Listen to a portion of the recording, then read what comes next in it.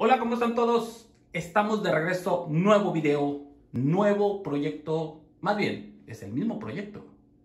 Pero bueno, el punto de que este azulejo ya está listo, ya está terminado. Y lo que vamos a hacer ahora, vamos a poner sealer. ¿Para qué el sealer? Si miran cómo se mira esa área, para que se mire húmedo y se mire bonito, no se mire opaco como este. Lo que le estoy poniendo ahorita es agua porque lo voy a limpiar. Voy a limpiar completamente todo, todo, todo, todo, todo, todo, todo, incluyendo el piso. ¿Se fijan cómo está mojado? porque le habíamos echado lo que conoce mucha gente como boquilla o uh, el que va en el medio de los azulejos. Este es un azulejo de 12 por 23, 3 cuartos, o sea, por 24 casi. Eh, lo vamos a limpiar con pura agua y con esponjas. Usen estas esponjas que están aquí, una de lado y otra de lado y esa. Y hay que darle el cambio de agua cada cierto, unas dos, tres veces cambio de agua, dejar que seque y vamos a tirar sealer para que se mantenga así y se mire mojadito, se mire bonito. ¿Se fijan la diferencia? Porque ahí no tiene agua. Entonces el punto que cuando pongan el sealer se va a mirar así, como esto. ¿sí?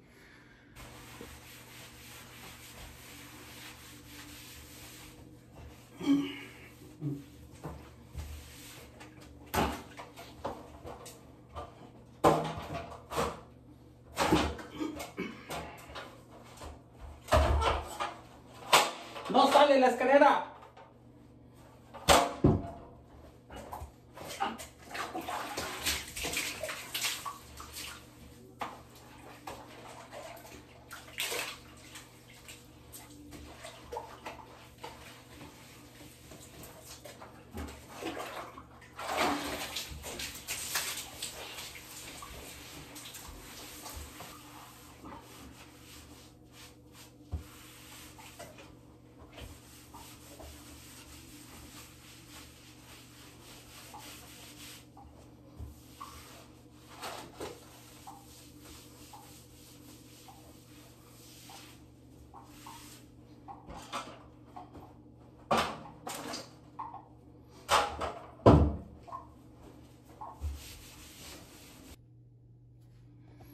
Bueno, este es el material que vamos a usar nuevamente. Wet Look Sealer. Es para concreto, bloques y tile. Entonces, procuren que el bote esté limpio. Lo echan ahí, parece leche. Ahí, más o menos. Y lo vamos a poner... Bueno, ya me la robaron. Acá está. Con una esponja. Traten de solamente, no la llenen todo, traten solamente la punta. Sí. Solamente esa parte, ¿se fijan? Y lo empiezan a aplicar para que quede bonito y sellado. Aquí como en esta ocasión ya le empecé a dar ahí, ¿se fijan? ¿Cómo quedó? Acá no tiene, ¿se fijan la diferencia? Ahí en la esquina, ahí. Entonces lo que va a pasar que al momento de aplicarlo va a quedar así como blanquito, como lechita, ¿sí? Pero no va a pasar absolutamente nada porque ya cuando esté seco totalmente se va a ver transparente.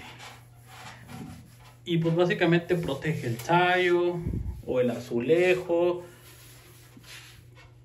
y especialmente el grout siempre se mira húmedo se mira bonito de esa manera. Vamos a poner el material entonces. Este material yo lo compré en Home Depot Sería bueno que Home Depot mandara aunque sea unas tarjetitas de gratis, pero no quiere el güey todavía. Vamos a poner ese material. Me costó...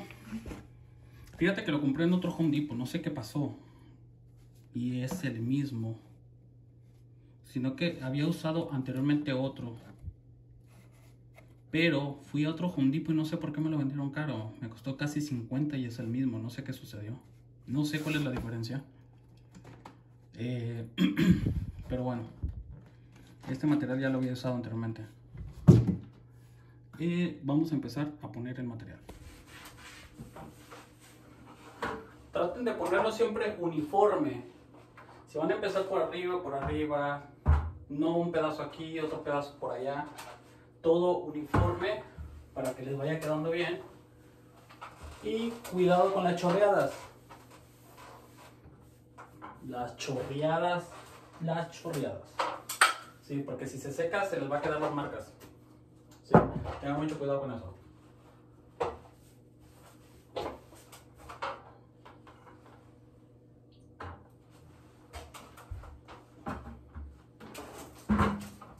Aquí Home Depot, le van a dar vuelta porque no se mocha con nada.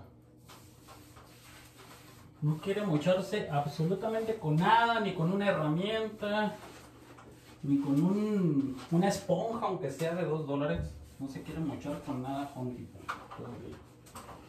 Dice que todavía no.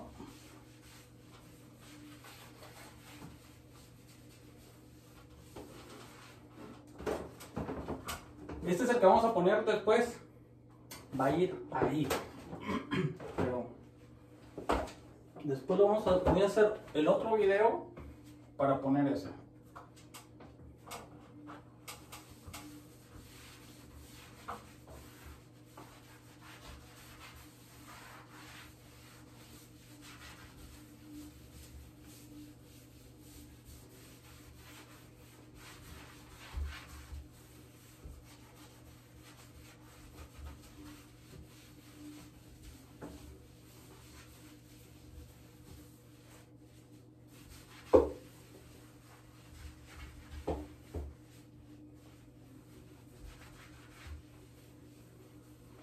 Y antes de que pregunten cuántas veces hay que darle, en mi consejo, dos veces.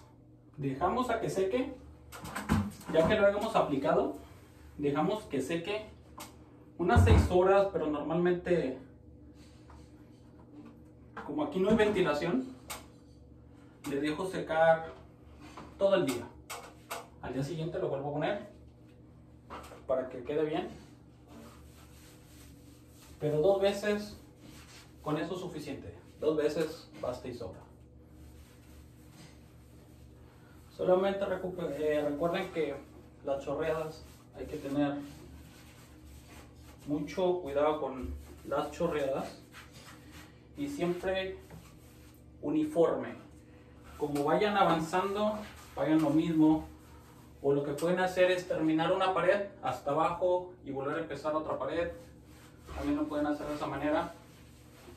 Pero el punto es de trabajar ordenadamente. Ese es el consejo que les doy. Ordenadamente hay que trabajar.